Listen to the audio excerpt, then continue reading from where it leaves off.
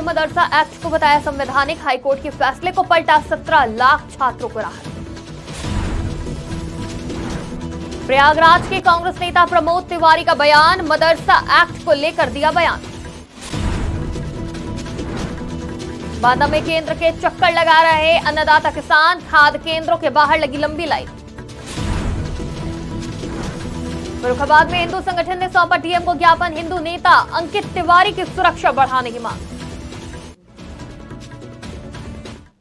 नमस्कार आज की खबर में आपका स्वागत है। मैं हूँ आपके साथ शिखा मेहरोत्रा शुरुआत करते हैं उत्तर प्रदेश खबरों की।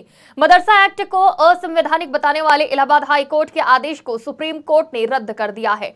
बता दें सुप्रीम कोर्ट के इस फैसले से उत्तर प्रदेश के 16,000 मदरसों को बड़ी राहत मिल गई है। वहीं अब ये पहले की ही तरह मदरसे में अपनी पढ़ाई पूरी कर सकेंगे। प्रयागराज में सर्वोच्च न्यायालय के उत्तर प्रदेश मदरसा शिक्षा बोर्ड अधिनियम 2004 की असंवैधानिक वैधता बरकरार रखने के निर्णय पर कांग्रेस नेता प्रमोद तिवारी का बयान सामने आया है। उन्होंने कहा, पीएम मोदी और भाजपा धर्म के आधार पर विभाजन और कटौती की बात करते हैं। उन्हें इस फैसले से सबक सीखना चाहिए। देश एक रहेगा, तब मज़बूत रहेगा।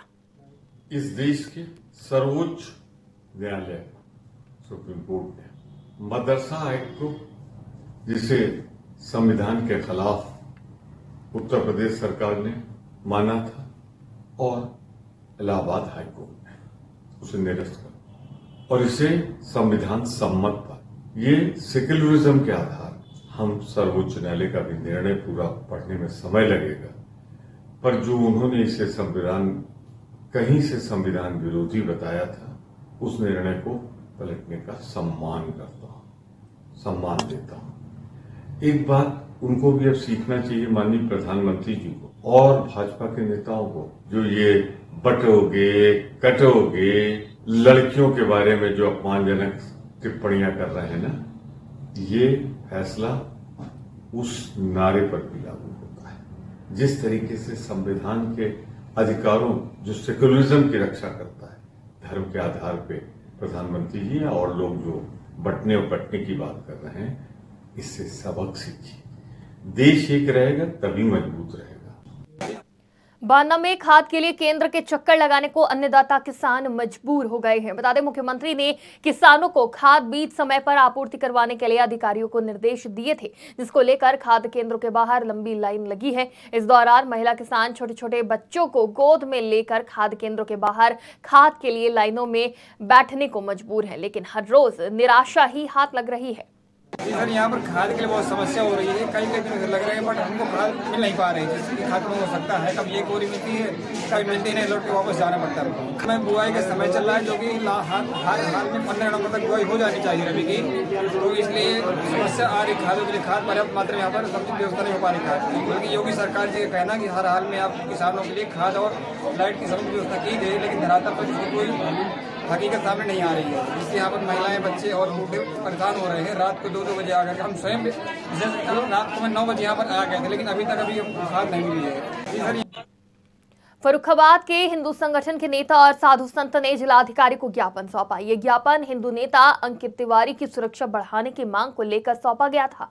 बता दें, कुछ लोग सोशल मीडिया के माध्यम से अंकित तिवारी को जान से मारने की धमकी दे रहे हैं, जबकि अंकित तिवारी ने किसी भी जात और धर्म के लिए पोस्ट नहीं डाली थी। फिर भी कुछ मुस्लिम समुदाय के लोगों ने अंकित तिवारी के खिलाफ एक रिपोर्ट दर्ज कराई थी। हालाँकि इसके बावजूद भी अंकित तिवारी ने पोस्ट के माध्यम से माफ़ी मांग ली है।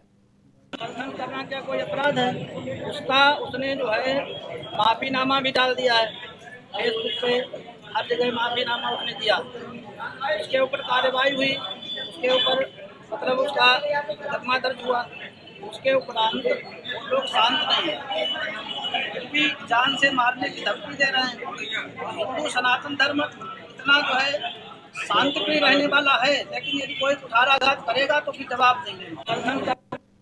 पीलीभीत की महिला ब्लॉक प्रमुख मरौरी ने भाजपा के बरखेड़ा विधायक पर आर्थिक और मानसिक रूप से प्रताड़ित करने का आरोप लगाया है। साथ ही बताया कि संगठन के पदाधिकारियों को भी वो अपनी समस्या से अवगत करा चुकी है। हालाँकि विधायक ने अपने ऊपर लगाए जा रहे आरोपों को गलत बताते हुए ब्लॉक प्रमुख द्वारा इन्हें साबित करने की बात कही है। वही कहा कि लगाए गए आरोप अगर झूठे निकले तो वो मानहानि की कार्रवाई करेंगे।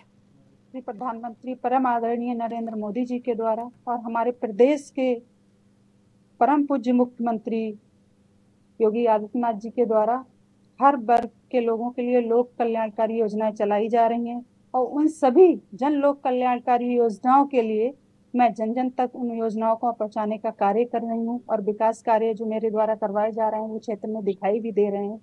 लेकिन हमारे विधानसभा बरखेड़ा 128 के माननीय विधायक जी जयद्रथ प्रवक्तानंद जी लगातार मुझे परेशान कर रहे हैं मेरे विकास कार्यों को प्रभावित कर रहे हैं। यही क्षेत्र में वह पार्टी के कार्यक्रमों में जाने से रोकते हैं मुझे। विकास कार्य कैसे रोक रहे हैं? विकास कार्य मेरी शिकायतें करती हैं ये इस तरह से विकास कार्यों ये देवरिया के डीएम ने सिमरौना में स्थित छठ घाट का निरीक्षण किया। बता दें, जिलाधिकारी ने छठ पूजा को शांतिपूर्ण और व्यवस्थित तरीके से मनाने के संबंध में अधिकारियों को आवश्यक दिशा निर्देश दिए। साथ ही इसके लिए डीएम ने सत्तावन अधिकारियों को मजिस्ट्रेट के रूप में तैनात किया। वहीं जिलाधिकारी ने छठ पूजा स्थलों पर सीसीटीवी कैमरा अनिवार्य रूप से लगाने का भी आदेश दिया। ये छठ की तैयारियों के संबंध में हमारे घाटों पे सभी तैयारियाँ चल रही हैं। सभी हमारे घाटों पे साफ़ सफ़ाई की व्यवस्था एवं सभी अन्य व्यवस्थाओं की को देखने के लिए मैं और मेरी पूरी टीम और कप्तान साहब जो है, सभी घाटों पर जा रहे हैं। इसी क्रम में आज हम रुद्रपुर पे अभी घाट देख रहे हैं। बहुत अच्छी तैयारियाँ यहाँ चल रही है। मुझे उम्मीद है कि सभी छठ के जितने भी लोग हैं, उनको कोई भी यहाँ पे समस्या नहीं होगी। ये छठ की तैयारी तो छठ घाट का निरीक्षण किया गया है तो वहीं सहारनपुर ने सहारनपुर में पुलिस की वर्दी में रील बनाना, एक युवक को भारी पड़ गया। बता दें, एक युवक दरोगा की वर्दी पहनकर रेडी ठेले वालों को धमकाते हुए इंस्टाग्राम पर रील बना रहा था। वहीं स्थानीय लोगों की सूचना देने के बाद तुरंत मौके पर पुलिस पहुँची और युवक को गिरफ़्तार कर लिया। इस मामले में एसपी का कहना है कि इस तरह से वर्दी पहनकर उत्तर प्रदेश पुलिस की छवि को धूमिल करना सही नहीं है। जी, परसों शाम को ये मंडी समिति रोड पर चौकी प्रभारी मंडी समिति ने सूचना दी कि वहाँ पर एक उत्तर प्रदेश सुरक्षा की एक यूनिफॉर्म पहनकर एक आदमी वहाँ पे रील बना रहा है और कुछ ठेले वालों के साथ कुछ उनका सामान ले रहा है। तो ये पूरा प्रकरण जैसे संज्ञान में आया। आदेश दिए गए कि जो भी ये कृत्य कर रहा है, उस पर कानूनी कार्रवाई की जाए, जिसके फलस्वरूप इसमें मुकदमा पंजीकृत कराया गया और जो ये रील बनाने का कार्य कर रहे थे यूपी पुलिस की वर्दी पहनकर, उनको जेल में उत्तर प्रदेश की खबरों में फ़िलहाल इतना ही। देश और दुनिया की तमाम खबरों के लिए देखते रहिए आज की खबर।